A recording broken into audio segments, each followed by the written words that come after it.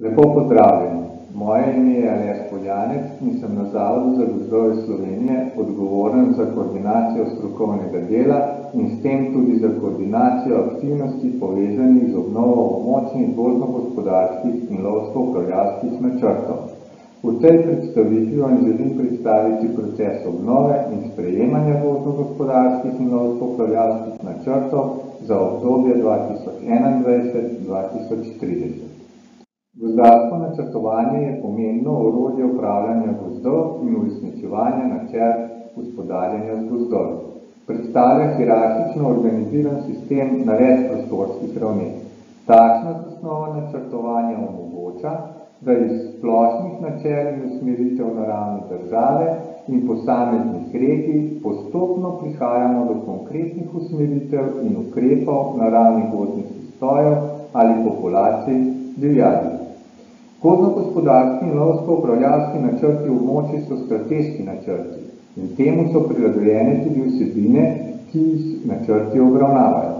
Izdelujejo se hkrati za celotno Slovenijo za obdobje 10 let in sicer za 14 gozdno-gospodarskih in 15 lovsko-upravljalskih območij. Območni načrti so pomemben instrument gozdarske politike so pa tudi ključno urodje za uresničevanje ciljev nacionalnega gozdnega programa. Posebnost načrtov je, da hkratno obravnavajo gozdno-gospodarske vsebine in vsebine upravljanja s prosto živečimi živalskimi vrstami. S tem pomembno prispevajo k uresničevanju gozdno-gospodarskih in lovsko-upravljalskih ciljev. Območni načrti so pomembni tudi za uresničevanje interesov nekaterih drugih področij, kot so na primer kmetijstvo in razvoj podeželja, varstvo narave, upravljanje z vodami in upravljanje s kulturno dediščino v gozdnem prostoru. Načrte sprejme vlada od Republike Slovenije. To odločitvam o načrtih daje še posebno veljavo. Prvič so bili območni načrti izdelani leta 1971. Načrti za obdobje 2021-2030 pa predstavljajo že peto obnovo območnih načrtov. Zasnova gozdno-gospodarskega in lovsko-upravljalskega načrtovanja je opredeljena z zakonom o gozdovih, zakonom o divjadi in lovstvu in pravilnikom o načrtih za gospodarjenje z gozdovi in upravljanje z divjadjo.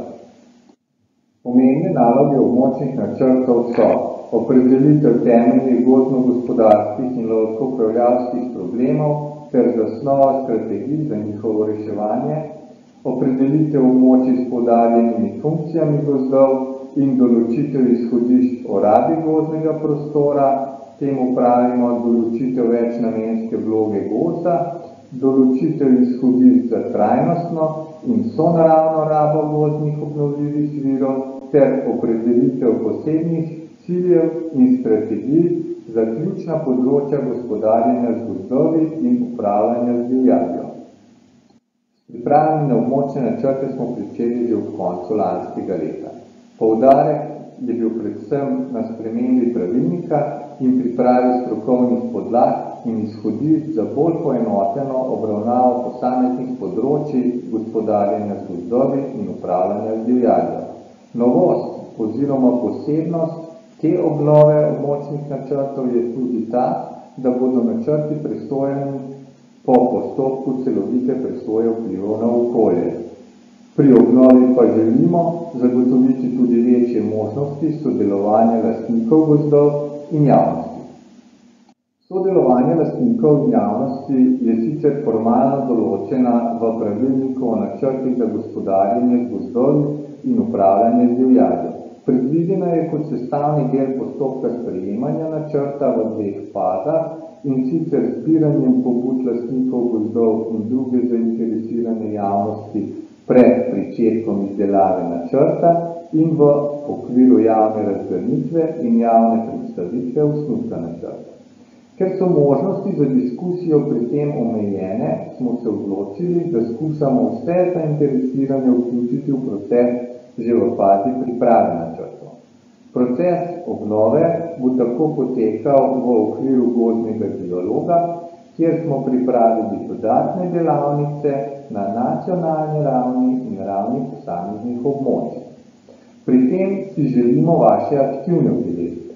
Zaradi številnih interesov od dogozda pa vas naprošamo za strpen in argumentiran dialog o prihodnjem upravljanju z obnovljivimi gozdnimi viri.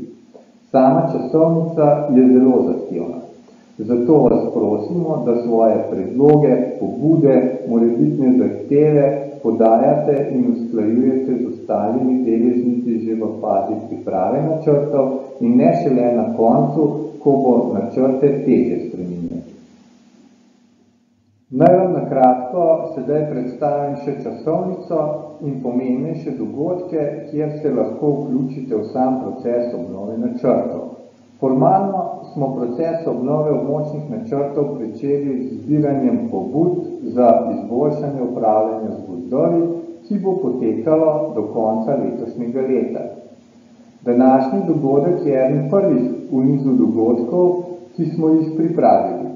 Dogodek je namenjen predvsem temu, da vam predstavimo sam proces obnove načrtov, da vas opozorimo na pomembnejše dogodke, kjer se lahko aktivno v ta proces vključite, predvsem pa, da vas spodbudimo k vaši aktivni udeležbi. Po zaključku zbiranja pobud bomo te pobude skrbno pregledali, nanje tudi pisno odgovorili in predstavili odgovore na naši spletni strani. V februarju Potem uh, predvidevamo drug večji dogodek na nacionalni ravni, to bo delavnica, na kateri bomo predstavili način upoštevanja vaših pobud pri izdelavi območnih načrtov, izvedli pa bomo tudi vsebinjenje za namen celovite presoje vplivov na okolje. V obdobju med marcem in junijem bodo na ravni posameznih gozdno-gospodarskih in lovsko-upravljalskih območij organizirane delavnice po posameznih vsebinskih sklopih. V vsakem območju predvidevamo tri delavnice za gozdno-gospodarske vsebine in po dve delavnici za lovsko-upravljalske vsebine. Zaključek priprave območnih načrtov predvidevamo nekje v sredini junija, julija, potem pa začne formalno potekati proces sprejemanja načrtov. Ta med drugim vključuje tudi javno razgrnitev in javno obravnavo osnutkov načrtov, kamor ste seveda tudi lepo povabljeni. Konec septembra pričakujemo, da bomo načrte oddali na Ministrstvo za kmetijstvo, gozdarstvo in pa prihrano, ki bo potem pripravilo gradivo za sprejem načrtov na vladi Republike Slovenije. Za lažjo komunikacijo z lastniki gozdov in javnostmi smo na naši spletni strani pripravili posebno rubriko o obnovi gozdno-gospodarskih in lovsko-upravljalskih načrtov. To bo naše komunikacijsko okno, kjer želimo predstaviti vse pomembnejše aktivnosti v zvezi z obnovo območnih načrtov. Na spletni strani bomo objavljali obvestila o pomembnejših dogodkih, odgovore na vaše vprašanje in pa pobude, najpomembnejše strokovne podlage in vse pomembnejše gradiva, ki jih bomo obravnavali na posameznih delavnicah. Zato vas vabim, da si stran večkrat tudi pogledate. Na spletni strani najdete tudi obrazec za oddajo pobud za izboljšanje upravljanja z gozdovi in divjadjo. Časa za oddajanje pobud je še dovolj. Pobude ne bodo prilagojene strateški ravni območnih načrtov in vezane predvsem na vsebine, ki jih območni načrti obravnavajo. V tej fazi pričakujemo predvsem pobude glede vsebin, ki jih trenutno veljavni območni načrti ne vključujejo oziroma po vašem mnenju niso ustrezno obravnavani. Trenutno veljavne načrte pa lahko najdete na spletnem pregledovalniku Zavoda za gozdove Slovenije ali pa na spletišču gov.si. Naj vas na koncu moje predstavitve še enkrat povabim, da se aktivno vključite v proces obnove območnih gozdno-gospodarskih in lovsko-upravljalskih načrtov in s tem prispevate k boljšemu upravljanju z naravnimi gozdnimi viri. Hvala za pozornost.